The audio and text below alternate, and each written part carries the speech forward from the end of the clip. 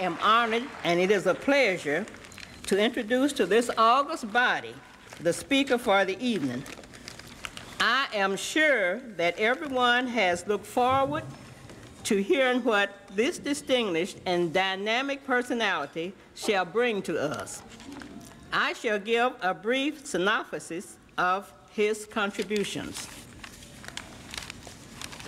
A native of Greenville, South Carolina, he obtained the bulk of his academic experience in the South, receiving a BS in biology from North Carolina A&T University and a DDS from Meharry Medical College School of Dentistry.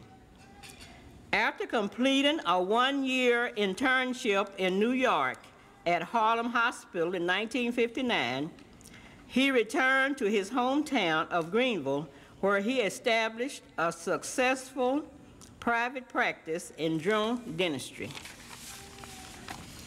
Since working with and assisting people has always been his specialty, it is not surprising to discover the major role he has played in forming educational, political, religious, and legislative policies in the Southeast region.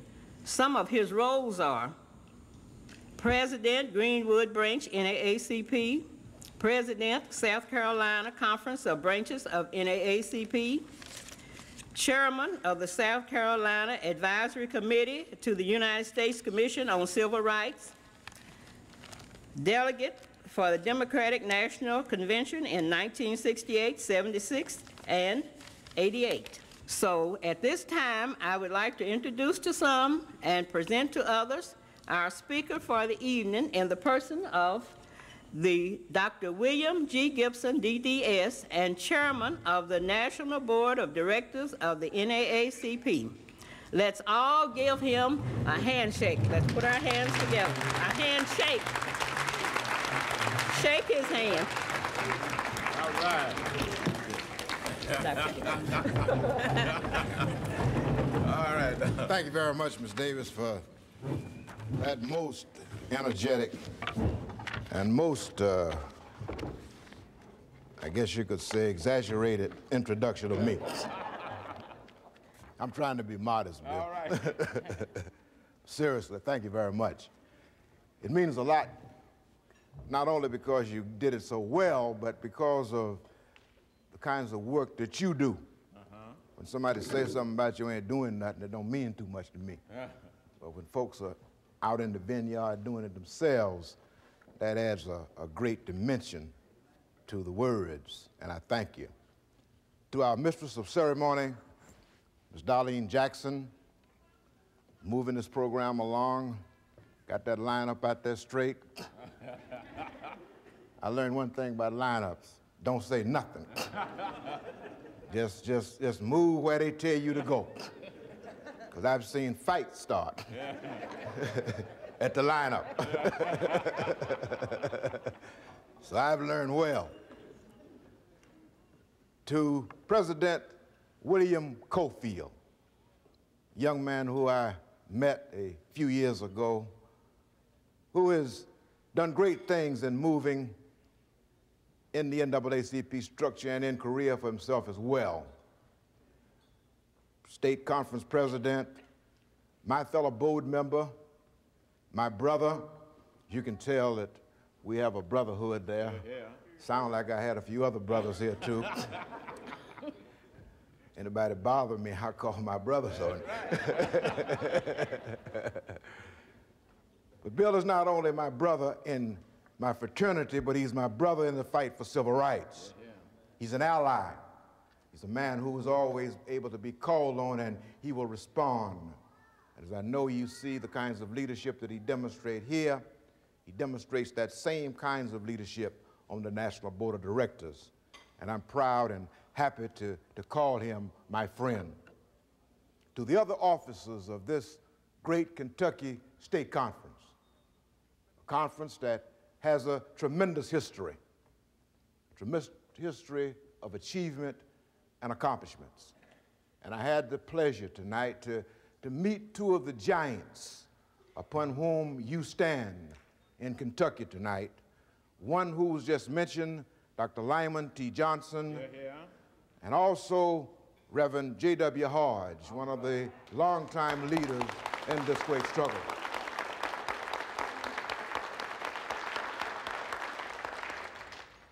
I told him, as I always tell my friends and who are senior to me in this organization, that I understand well that it's a whole lot easier for me to lead today than it was in 1940. Amen. I know that.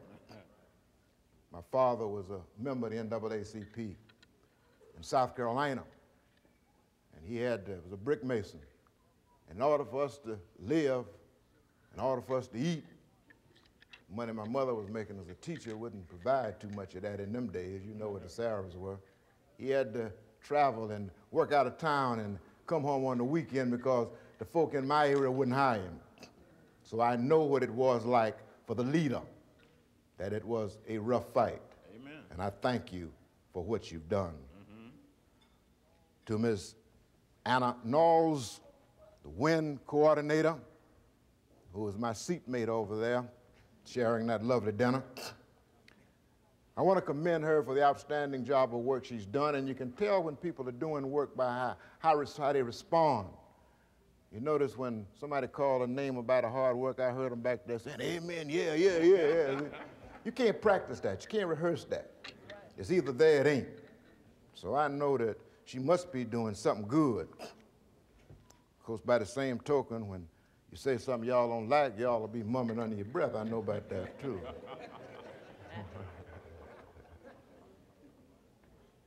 to the other day's guests, to the beautiful models, and to the lovely young Tiara, Amen. beautiful young lady who I'm sure has a wonderful career in whatever she wants to do. But I hope that she begins in modeling and use that skill as well. Amen. Delegates, to this great convention. The most important group here. Y'all the one got the votes. and I understand votes. You got to have the votes to do what you want to do. It's great to see all of you here. To our young delegates and to our young people in the audience. Amen. Many of them who I had the opportunity to shake their hands as I, I walked through the crowd. I, I'm happy to see you here. Stay with this organization. Amen. Make it what you want it to be. Mm-hmm.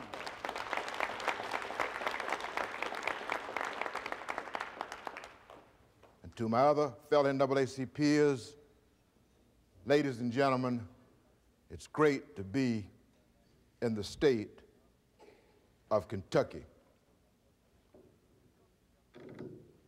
We come together at this Freedom Fund dinner at a time that is 32 days before a general election. Now, there's some good things going to happen in this election. Mm-hmm. At this election, we're going to elect over 38 to 40 blacks to the U.S. House of Representatives.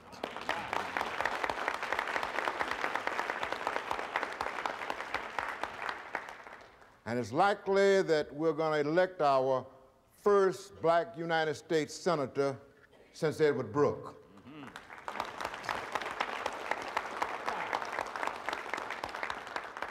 A lady, Miss Carol Moseley Braun.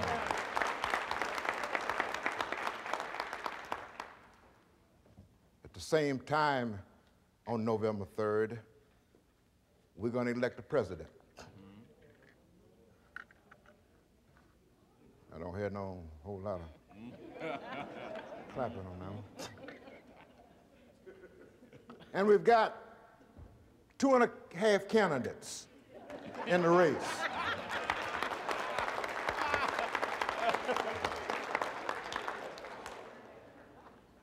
One side is preoccupied with the draft from the Vietnam War. Mm-hmm. Who cares about the war Vietnam currently, except for the men and women who gave their lives. We care for them. But who cares about the process of the draft? The other side is unable to strain itself from talking about that famous read my lips boo boo. about taxes. And the half side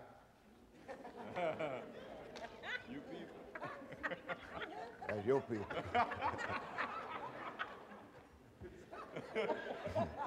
is ready to spend over $100 billion to vindicating his getting out of the race and to justify why he got back in.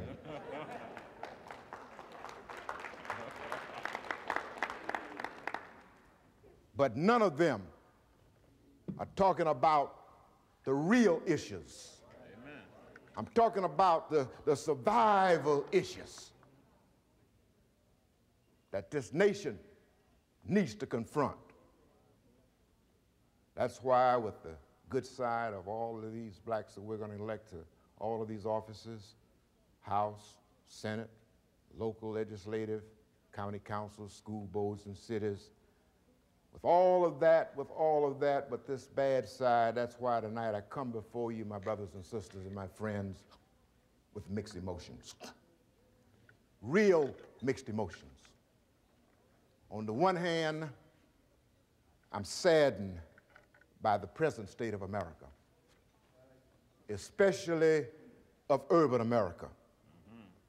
But on the other hand, I, I feel a sense of optimism because I recall an ancient Chinese proverb that says, chaos breeds opportunity. Chaos breeds opportunity, and it has.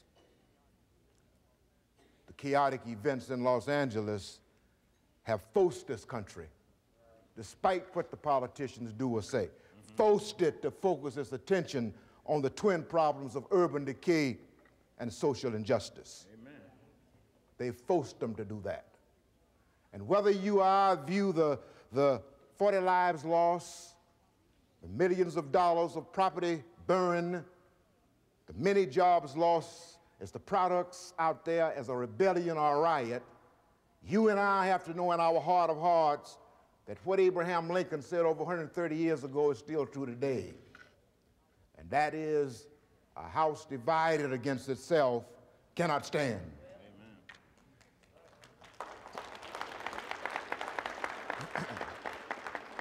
Likewise, this country cannot continue half affluent, half impoverished. Amen.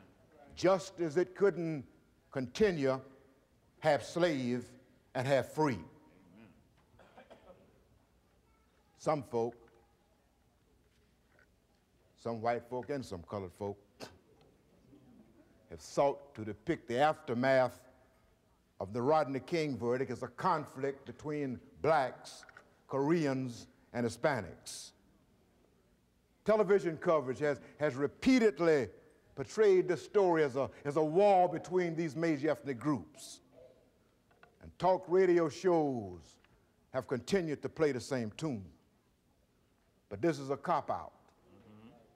Because the truth of the matter is that African Americans, Asian Americans, Hispanic Americans, and poor white folk.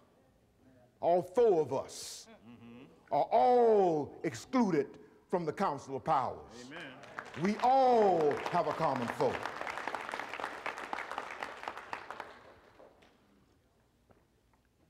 The infrastructure of our cities and our families does not respect ethnic background the joblessness that, that permeates this nation pays no homage to race.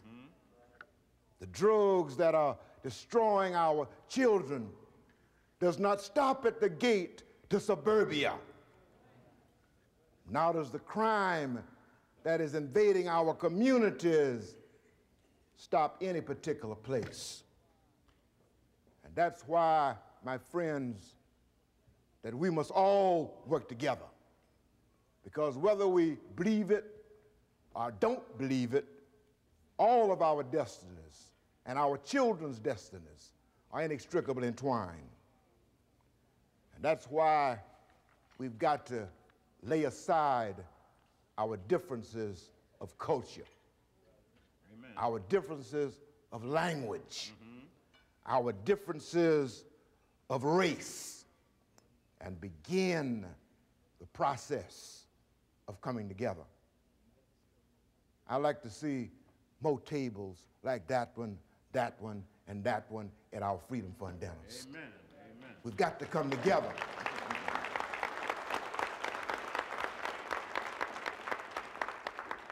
Because the conflicts along the great ethnic divide of our cities are not going to melt away overnight. Mm-hmm. It's going to take some time.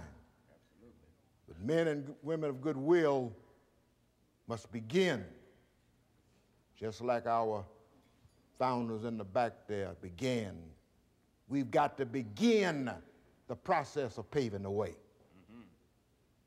In 1968, as he campaigned for the presidency, Robert Kennedy challenged every American to confront the anger and despair that had exploded in city after city across this country. He called for a renewed sense of purpose and commitment to a just society. And the question that he asked everywhere he went was if not us, who? Mm-hmm. If not now, when? Mm-hmm.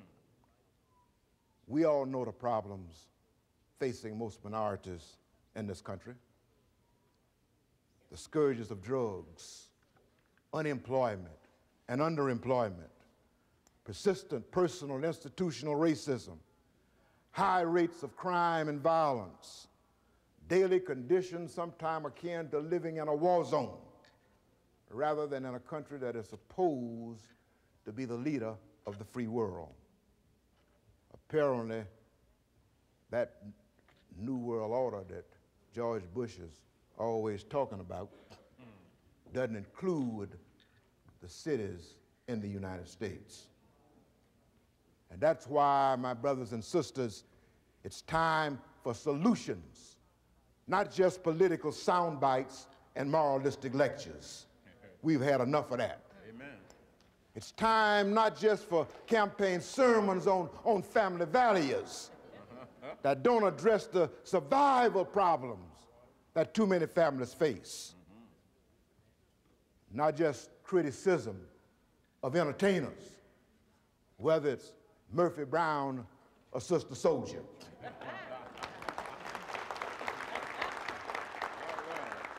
Because ain't neither one of those ladies gonna solve the problems that we face.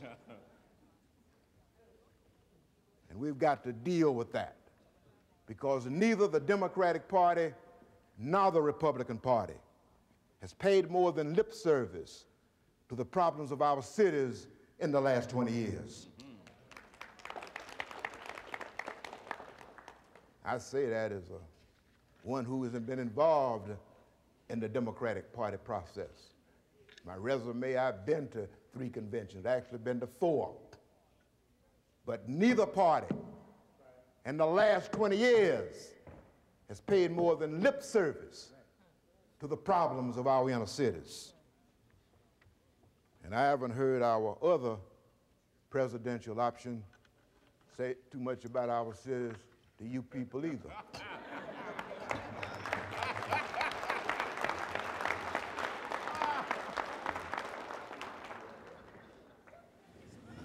he busy counting his money. Wish he'd take me in there counting. That's why, my friends, with the declining economic environment in this country, that's why, with the, with the worsening racial crisis in this country, a crisis that has once again spawned the emergence of those three demented brothers. Y'all know the three brothers I'm talking about, don't you?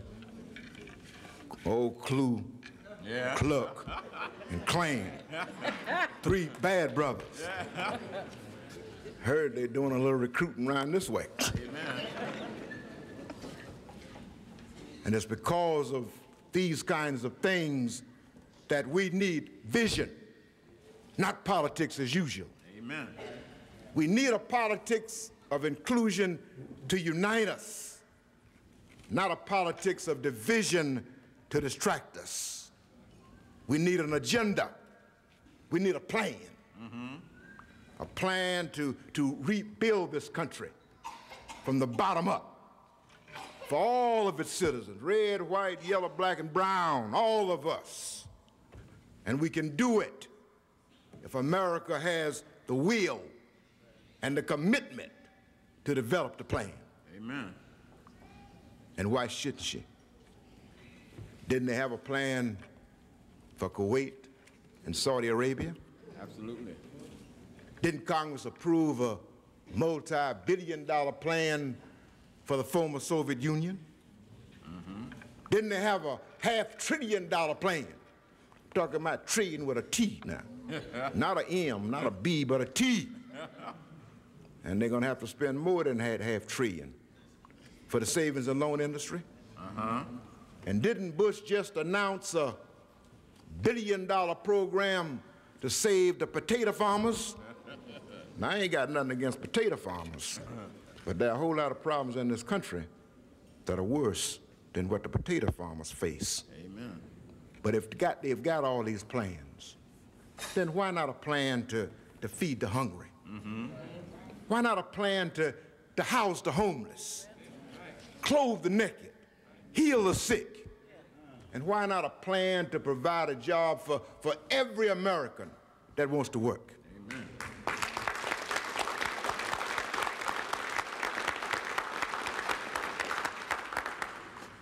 Those, my friends, are the questions that I want you to ask those seeking your vote November 3rd. You ain't got to wait.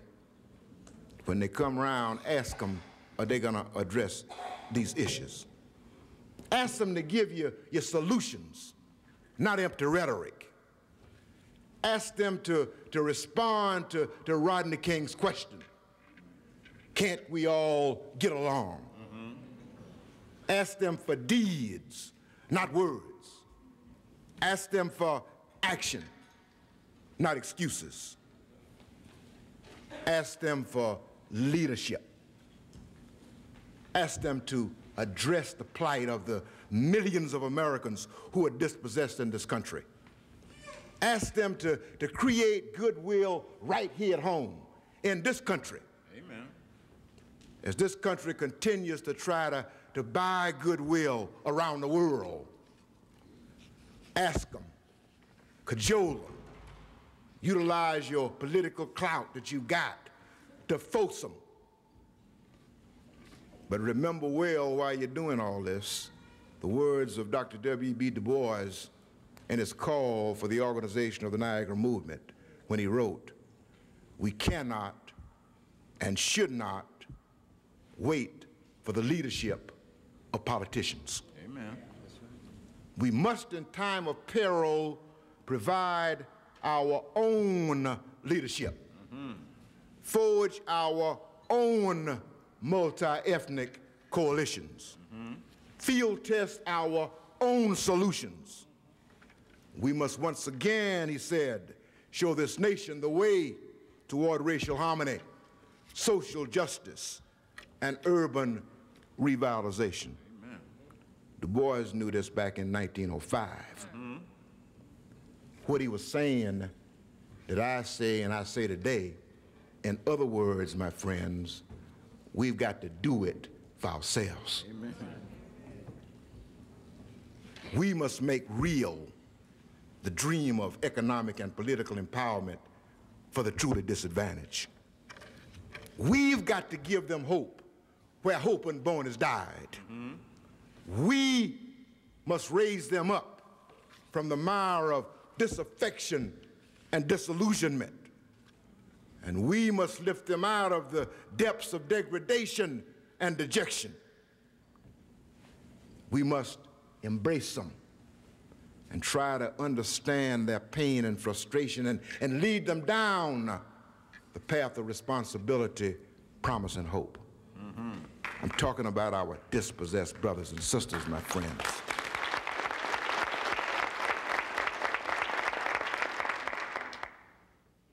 We must give them the promise of a decent job, a livable home, and self respect. The capacity to, to educate their children, to, to provide for them, to care for them and the hope for their children of a better life. Basics, the fundamentals that too many of our folk have too long been denied. We must do what the president, the Congress, and the courts have refused to do. Amen. We must. We must do it with our own plan of actions, since the politicians haven't seen fit to develop a plan of their own. And I'm talking about a plan to, to rebuild this nation and put our people back to work. A plan to unite the resources in our communities and put this nation back on track. A plan for the revitalization of our cities that have created a permanent underclass. And it won't be easy because nothing good never easy. but it's got to be done. And if we are to move America forward, we must do it. And we must all become involved.